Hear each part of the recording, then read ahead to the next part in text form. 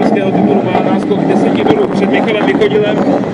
Tímto jezdcem je Marko Zakouřil, úřadující mistr České republiky v kategorii pro a také průběžný lídr šampionátu roku 2017. Pojďme ho společně přivítat.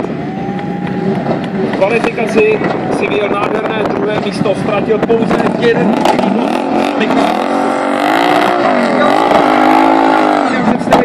není nikdo jiný než polský závodník Michal Hoska, velký showman a se svým Nissanem S14 a výborným motorem RG, ten je opravdu něco, co je úžasné za 600 koní a 850 Hoska obrovský showman, co se určitě ukáže, co v něm je a hlavně, co je v jeho obrovsky silném stoji Nissan S14.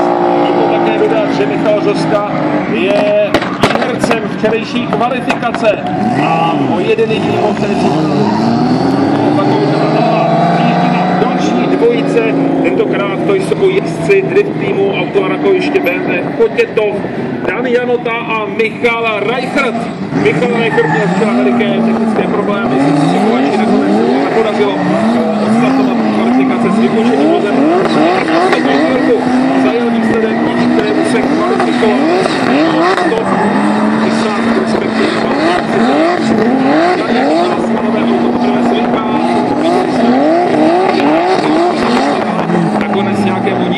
Také ve třetí jízdě uzmul, takže oba dva závodníci už jsou tady teď před diváckou tribunou. Dan Janota, Michal Reichert. Tak a teď v podstatě domácí závodník a to je Marcel Baláš, takže přijíždí Marcel Baláš, to není Marcel Baláš na té kříkolce, ale to je jenom jeho zaváděcí vůz. No, že uvidíme.